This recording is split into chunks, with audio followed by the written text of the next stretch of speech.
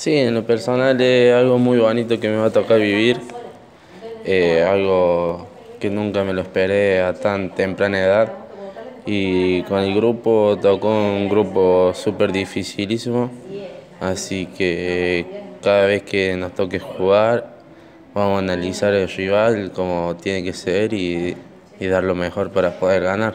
¿Cómo viviste el sorteo? Eh, terminó el entrenamiento y prácticamente salieron eh, de, entrenar y, ya estaba el sorteo en marcha, ¿no? Sí, salimos a entrenar y ya estaba ahí el sorteo en pocos minutos de arrancar y, nos pusimos todos ahí con el celular a ver cómo salía. Eh, ¿Mucha expectativa, digo, a, nivel personal y, a nivel de, plantel?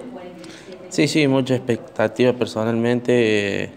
jugar, tratar de sumar minutos en la Libertadores y grupalmente, obvio, tratar de buscar la clasificación.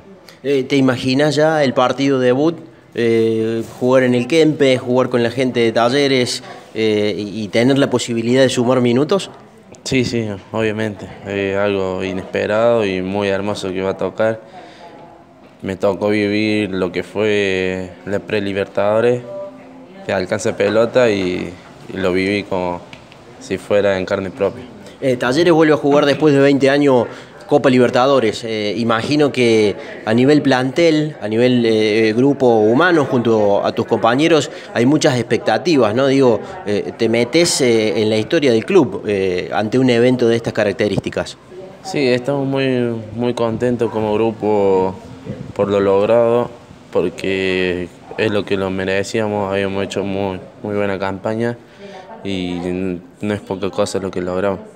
Y vos ya hiciste tu debut a nivel internacional, de hecho tu debut con la camiseta de Talleres fue a nivel internacional. Eh, ¿Cómo vivís esta posibilidad de otra vez eh, ser internacional vistiendo esta camiseta?